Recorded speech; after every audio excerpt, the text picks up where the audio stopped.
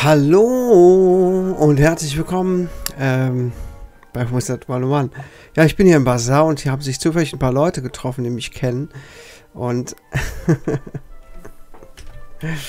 jetzt fangen die an, sich anzumachen.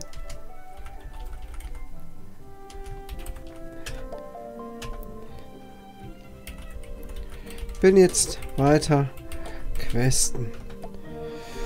Hier will jemand Gold äh, tauschen? Ja, von mir aus.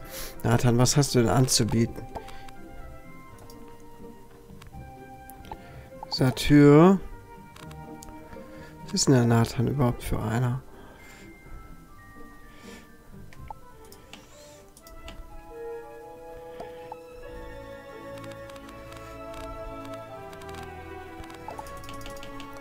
Was können wir dem denn mal geben hier?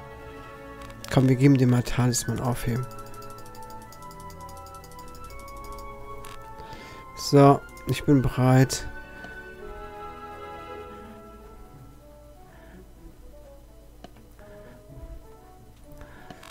So, hey Leute, so kann man natürlich auch seine Karten loswerden. So kann man seine verdammten Karten auch loswerden. Aber jetzt habe ich viel mehr Karten zurück. So, ähm... Heute nehme ich nicht ich nicht so lange auf. Habe noch ein paar andere Sachen vor. So. Ciao zusammen. Wer will, kann ja mitkommen. Wir gehen jetzt auf jeden Fall äh, nach Hause. Nach Hause erstmal. Ciao, ciao. Bye, bye.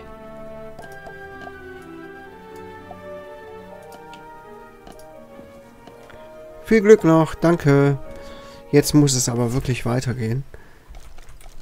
Denn ich hatte mir einiges vorgenommen. Außerdem bin ich kurz vor der Konda-Wüste, glaube ich. So heißt es.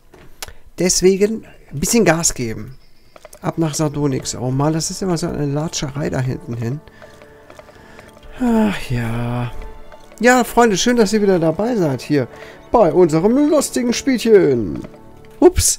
Vor die Wand gelaufen. Ja, der Kevin ist schon ein bisschen verwirrt.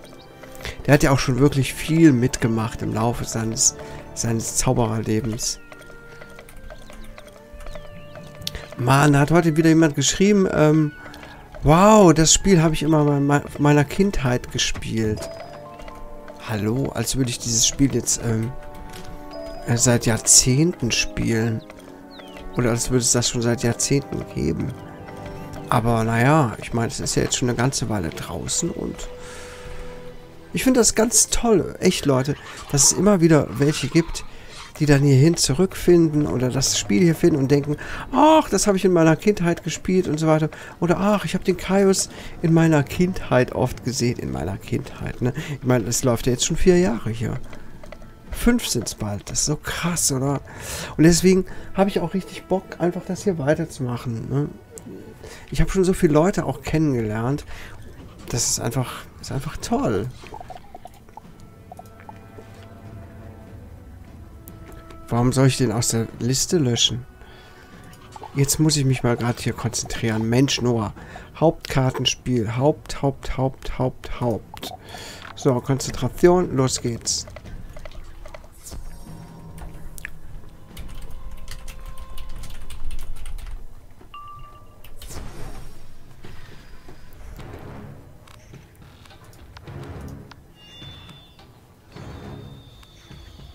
Oh, die haben aber viele Lebenspunkte. Uiuiui. Irgendwann mache ich wieder den Rundumschlag und lösche alle.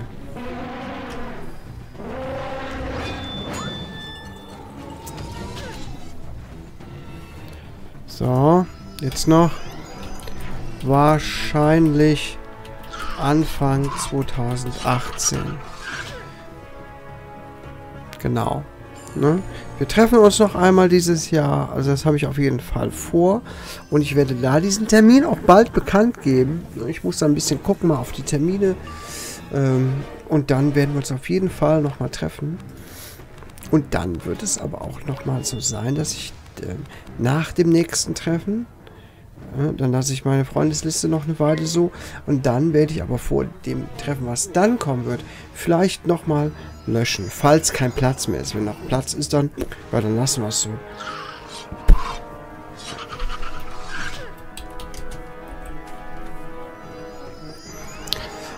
Und das ist einfach nur, damit jeder mal die Chance hat, in der Freundesliste zu sein und zufällig auch mit mir zu spielen. Also mit mir zu spielen, wenn ich zufällig mal on bin. Deswegen mache ich das jetzt nicht mehr unbedingt aus hier oben.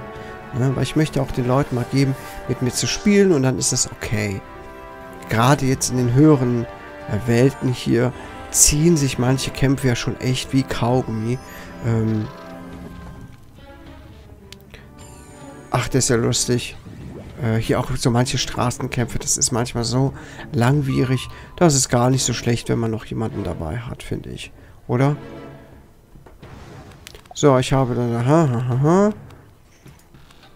Gut, weg damit. Weg damit. Passen.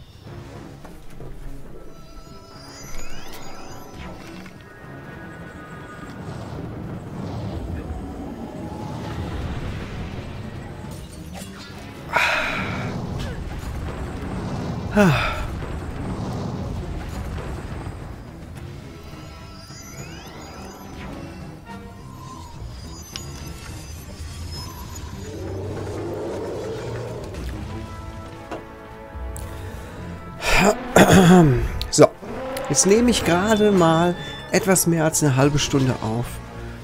Ich habe schon so einen trockenen Mund vom Quatschen. Ich habe aber die letzten zwei Folgen auch viel gequatscht. Ich meine, Leute, guckt euch das mal an wenn ihr ein Referat halten würdet, ja, oder ähm, eine Rede halten würdet oder so. Oder ihr würdet euch mit irgendwem unterhalten und würdet eine halbe Stunde am Stück nonstop quatschen. Dann würde euch der Mund schon ganz schön in Fetzen hängen, ne? Das ist einfach mal krass. Und hier bei so einer Aufnahmesession macht man das schon mal zwei Stunden, ne?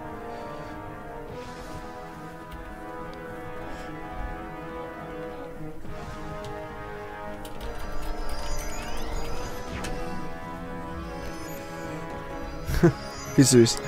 Teilen sich hier irgendwie einen Account oder sowas. Ach ja. Bendix hat übrigens... Inzwischen müssten auch schon Folgen draußen sein. Ja. Ja, inzwischen müssten die draußen sein.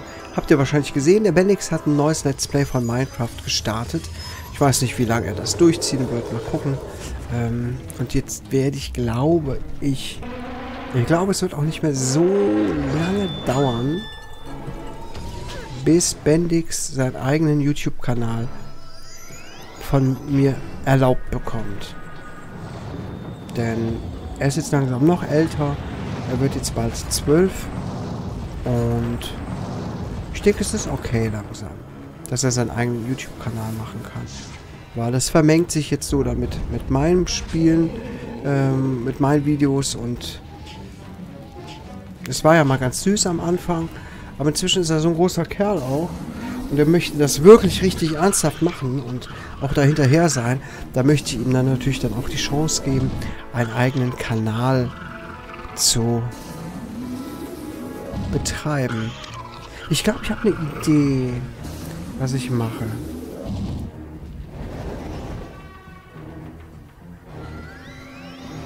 Ja. Aber das verrate ich jetzt nicht, weil das könntet ihr ihm verraten in einem Kommentar oder so. Und das möchte ich nicht.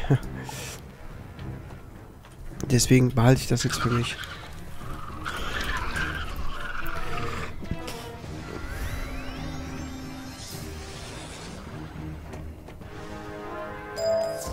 So, Ziel erreicht, besiege Raubklauenwache. Gracias! Auf geht's. Stell wieder her, Brunnen des verkohlten Blattes. Meins. Aber an Geld mangelt es mir im Moment nicht. Ich weiß nicht, ob ihr es gesehen habt in der letzten Folge. Ich habe im Moment 410.000 Goldstücke. Ich weiß gar nicht, was ich damit machen soll, Leute. Ernsthaft, was soll ich mit dem ganzen Geld machen? Ich könnte mir noch ein Haus kaufen, ne? Aber warum? Ein Haus nur für Haustiere? Auch albern, oder? Brunnen des verkohlten Blattes wiederhergestellt. Der Wunderschön. Brunnen verschluckt wird. Einen Moment später leuchtet eine kleine Flamme auf. Du hältst einen Moment vor ihrem warmen Licht inne und ein Teil deiner Angst verschwindet. Du nimmst dir noch eine Handvoll verkohlter Blätter mit als Glücksbringer. Und wir sprechen wieder mit Zelda.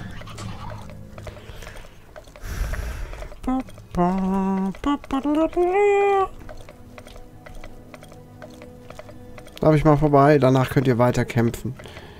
Übrigens sind die Kämpfe, die die hier bestreiten, ganz schön äh, sanft, ne? So. Zack. Gut, das sieht natürlich super gefährlich aus, aber dann jetzt erstmal ausruhen. So. Ah.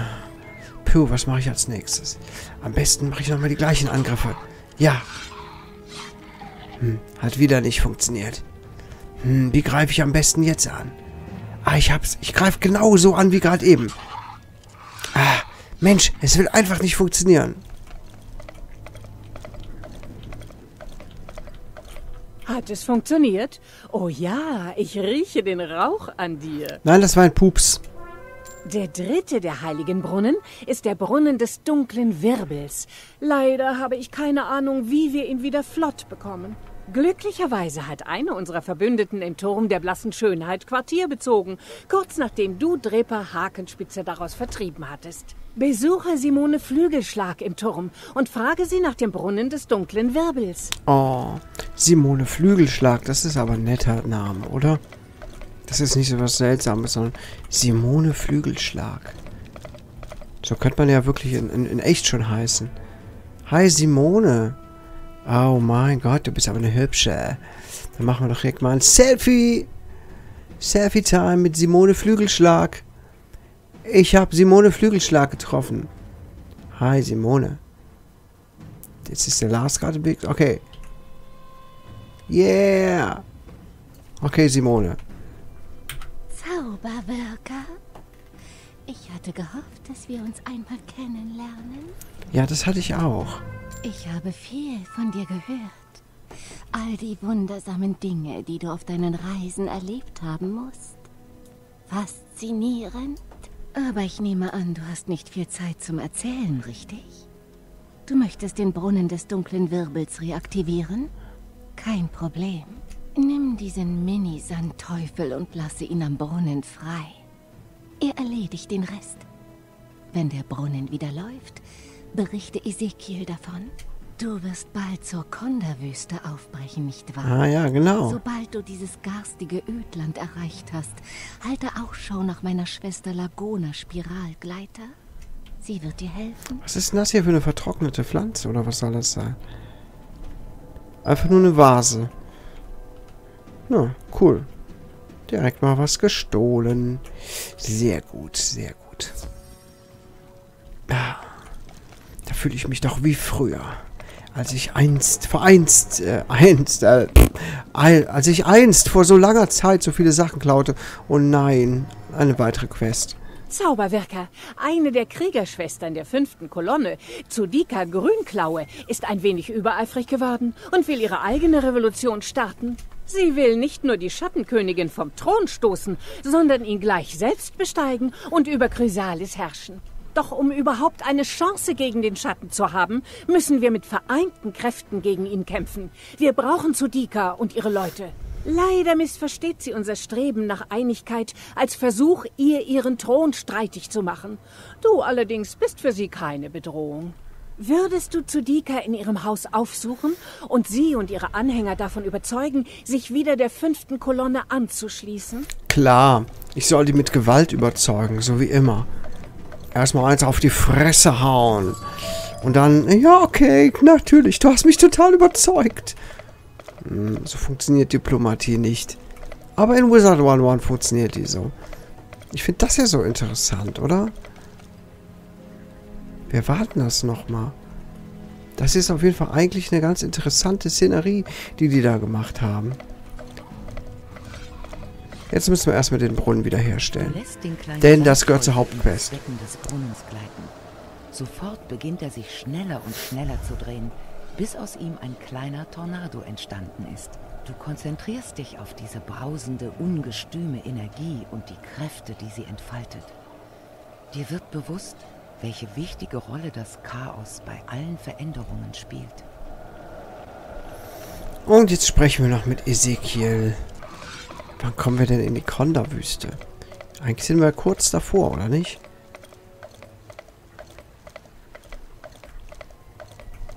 Halt! Nebelholz! Gott sei Dank. Gott sei Dank. Ich finde das auch gut, dass man von diesen Zutaten, die man so findet hier, äh, wirklich unendlich viel mitnehmen kann.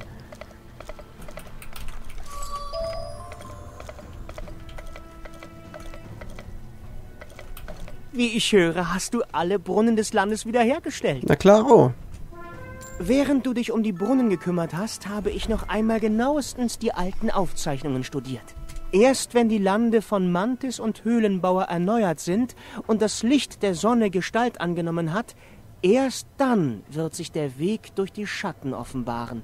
Erneuert könnte man aber auch als verbunden übersetzen.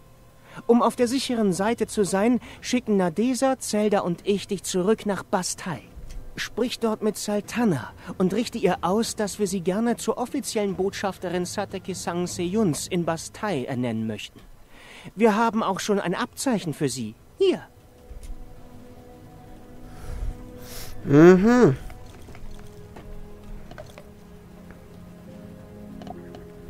Ich markiere das mal hier. Sakata Saka Senki Senki Tai Jung. Zauberwirker? So früh habe ich dich nicht zurückerwartet. Wie stehen die Dinge in meiner Heimat? Das sind bittersüße Nachrichten, doch auch voller Hoffnung. Es freut mich, dass dir Zarosinia dabei helfen konnte, den Kriegsherrn der Schattenkönigin zu vertreiben. Zarosinia wird dem Troikarat eine treue Verbündete sein und mit ein wenig Glück werden sie schon bald die Kontrolle über die Stadt zurückerlangen. Nun, warum bist du so früh wieder hier? Um mich zur Botschafterin zu ernennen? Es ist mir eine Ehre, denke ich. König Pyat sollte von deinen Fortschritten erfahren. Berichte ihm, bevor du zu Ezekiel, dem Sehenden, nach Sardonyx zurückkehrst. Mhm. Jetzt viel Quatschi Quatschi. Und ich habe jetzt einfach mal das Gefühl, dass wir in der nächsten Folge in die Konda-Wüste können. Und da freue ich mich schon drauf. Und darum sehen wir uns beim nächsten Mal wieder. Macht's gut, bis zum nächsten Mal. Ciao.